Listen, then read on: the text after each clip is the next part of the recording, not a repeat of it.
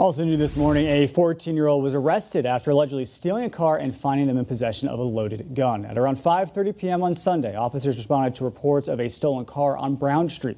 Officers saw that a Hyundai looked to have been broken into and that the ignition had been disabled, making it drivable without a key.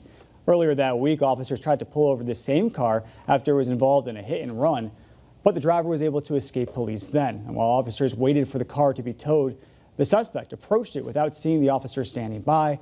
Officers quickly placed the juvenile under arrest and located a firearm in the waistband of his pants.